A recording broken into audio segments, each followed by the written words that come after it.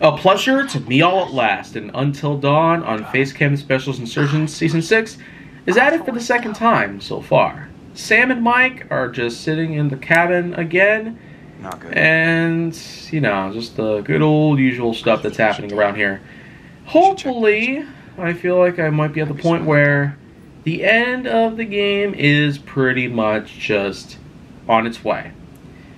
Because I certainly do remember this very point is where the rest of the characters do come back together and they try to formulate a plan to eliminate the Wendigos. Basically, try to escape this huge curse, pretty much. It inhabits these mountains late at night, and you're stuck with these monsters until dawn. And so, I could see why it's called Until Dawn, but alright, well, I guess first things first. Just walking around the house, trying to find out where the crap I'm supposed to go, and more importantly, look at all the spots I've previously explored. Okay. Of course, that door's to be locked. Lots of locked doors around the whole house. It's like you cannot seem to figure out where the crap you're supposed to go. And is there a map of some sort or any kind of indication letting you know what you're supposed to be doing? Since there isn't, I'd almost guarantee that some people are just having trouble with this whole spot in the whole game. Trying to get everybody back together. I don't know. Any other words I could probably mention here? Yeah. Quite a bunch of them, actually. I made two whole playthroughs of the game, pretty much. I played through once just because, you know, same thing would go with the second. Because there are, after all, multiple ways you can end the game. Either with multiple survivors or no survivors. I pretty much made my first playthrough where only a few would get out. And the second one, well, pretty much everybody would die. As unfortunate as that might sound. So, I would pretty much just make it possible for that whole thing to happen. I'm trying not to think about And um, otherwise, I'm not really seeing a whole lot to complain about here. Alrighty. it. Uh oh. Shit. Uh oh. Sam. Crap.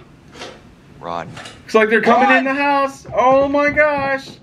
Y'all better make it out. Okay, you better get. Yep. You go lock the door. And probably go at least buy us some time. Oh man. Oh my god. Yeah. They might try to find a way around though. Of course, we're not going to be able to get through the door easily, but you never know. Okay. Let's go up the stairs and find a safe haven. Uh oh. Don't. Yeah. Oh man, that's not gonna be good. Oh gosh. Yeah, of course. Yeah, and you notice that the light bar that sits in the front of the controller, I never quite knew that that was such a unique function.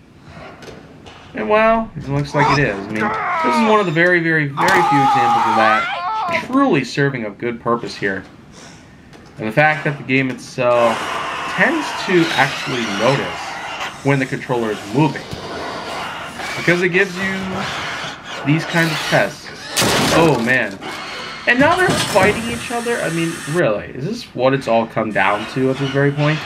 Is it really gonna be that big of a freaking deal? Alright, well. It looks like, yeah. It tripped the gas main. And when they trip a gas main, of course that's gonna be a freaking ingenious idea to go blow up the house and burn them all down. Okay, well, I suppose the biggest thing here is simply put to. Oh, man. Like, really, I don't quite have. Oh, man. Why would you kill one of your own? Like, what is the purpose in that? Alright, so. Yeah, I just gotta not move. Like, what the crap? Scraps the point here. Was the whole thing about this supposed to be about the um, ensuring that the Wendigos die and everybody pretty much lives? Like, I don't freaking get Oh it my myself. god! Ugh. Oh man.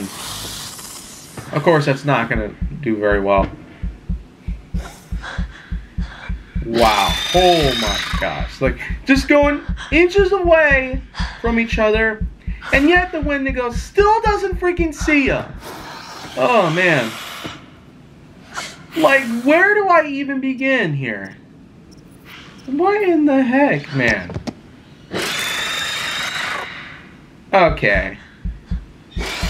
Like, I get that you're hiding and all, but how does it not find you easily? Is it really based on movement? Like, what is this, Jurassic Park? Oh, man. Wow, okay. I guess that's a whole new one right there. But, anyways, I'm not quite seeing a whole lot else to talk about here. Just simply watch the action as it unfolds. And I'm sure some people out there might basically have something to... Oh, yeah, that's pretty clever right there. You got two freaking. Wow. Oh, man. Wow. Here we got ourselves good old Sam. Surviving until the very, very end.